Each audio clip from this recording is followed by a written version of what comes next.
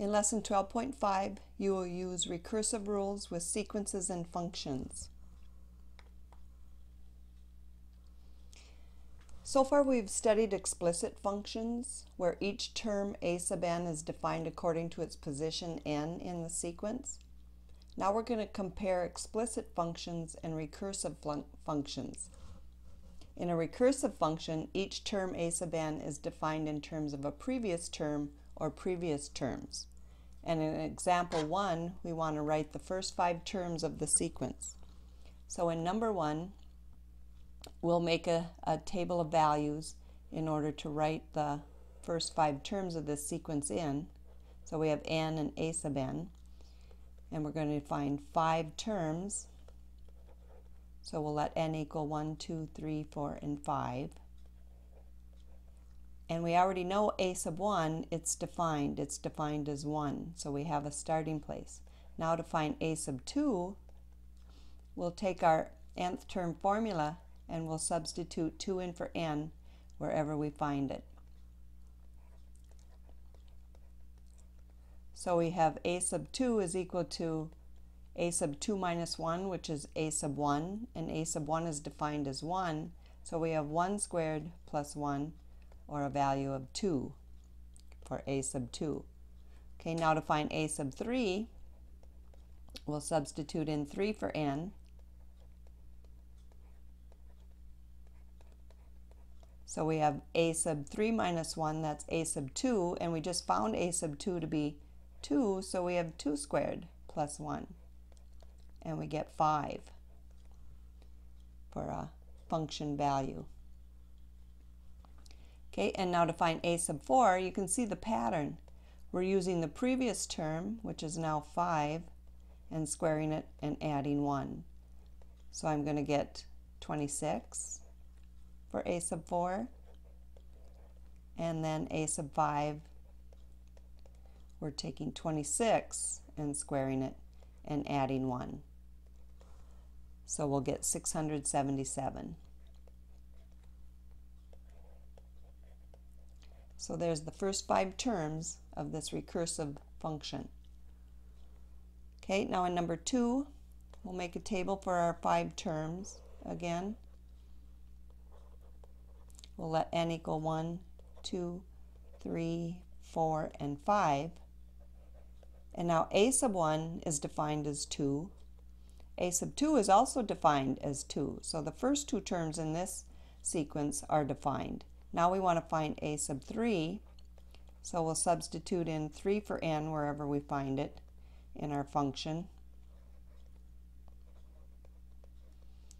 So we have a sub 3 minus 2, which is a sub 1, and a sub 1 is defined as 2. We have a sub 3 minus 1, which is a sub 2, and that's also defined as 2. So we have 2 minus 2, or 0, for a function value. Now we need a sub 4, so we'll substitute in 4 wherever we find n. So we get a sub 4 minus 2, that's a sub 2, and a sub 2 is defined as 2. And then we have a sub 4 minus 1, which is a sub 3, and a sub 3 we found to be 0, so we get a value of 2 for a sub 4. So you can see the pattern again. We're using the previous two terms in order to find the next term. So we would take 0 this time and subtract 2 and get a value of negative 2 for a sub 5.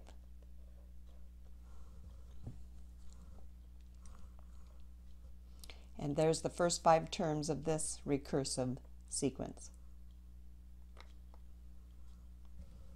In example 2, we want to write both a recursive rule and an explicit rule for the sequence. So let's start with number one, which is an arithmetic sequence, and let's write the explicit rule. Because we know that the nth term for this arithmetic sequence is equal to the first term plus n minus 1 times the common difference. So all we have to do is substitute in the first term that they give us of 15 and a common difference of 5. We want to distribute and add like terms to leave this equation, this nth term rule in standard form, in linear form. So distributing, I get 5n, and I get negative 5 added to 15, or 10. So there's the explicit rule for this arithmetic sequence. And now to write the recursive rule, we'll say a sub 1 is equal to 15, and after that, each term is equal to the previous term, so a sub n minus 1 is how we'll represent the previous term, plus 5.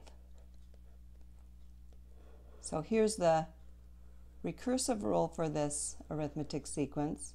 The first term is defined, and every term after that is defined in terms of the previous term. Okay, and here over here is our explicit rule for that same arithmetic sequence. Okay, let's try it again with a geometric sequence. And the explicit rule, we know the nth term is defined as the first term times the common ratio raised to the n minus 1 power. And all we did was substitute in the first term of 4 and the common ratio of 1 fifth in order to write that nth term rule for that geometric sequence. Okay, to write the recursive rule, we'll start with a sub 1 equals 4, and then to get every term after that, we'll take the previous term, a sub n minus 1, and we'll multiply by that common ratio of 1 fifth. So here's the recursive rule for that geometric sequence. And over here we found the explicit rule for the same geometric sequence. In example 3, we want to write a recursive rule for this sequence. So we need to look for a pattern. And if you look uh, at this recursive rule, this uh, or this sequence, the pattern is to add the two terms and multiply by 2 to get the next term. If we add 1 plus 1 we get 2, and we multiply by 2, we get 4. If we add 1 plus 4, we get 5, and if we multiply by 2, we get 10. If we add 4 plus 10, we get 14, and if we multiply by 2, we get 28. So this is the pattern that continues through this sequence. So to write the recursive rule, we're going to have to define the first two terms. a sub 1 is equal to 1. a sub 2 is equal to 1 because in the nth term, we need to take the two previous terms, which are a sub n minus 1 and a sub n minus 2. We need to add them together and multiply by 2 to get each term in this uh, sequence. So there's the recursive rule. It has three parts. Iteration is the repeated composition of a function with itself in number uh, 1 here, we want to find the first three iterates of f of x equals 5x minus 3 for the initial value x sub 0 equals 1. So x sub 1 is going to equal 5 times that x sub 0 value, which is 1. We need a place to start, minus 3. So x sub 1 is going to equal 5 minus 3, or 2. x sub 2 the second iterate for this function is going to be found by putting 2 in, that previous value, in uh, for x and simplifying. So we have 5 times 2, 10 minus 3, that's 7.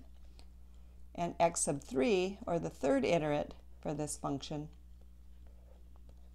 we'll find by putting 7 in for x and simplifying. So we get 5 times 7, which is 35 minus 3, so 32. So there's the first three iterates of f of x. In problem 2, we want to write a recursive rule for this sequence in problem 1. So we have to define that first term. We need a place to start in a recursive rule. So a sub 1 equals 2 is our starting point. And then after that, every term can be found by taking 5 times the previous term and the previous term we can represent as a to the n minus 1 power minus 3. So here's our recursive rule that will give us every term in that sequence.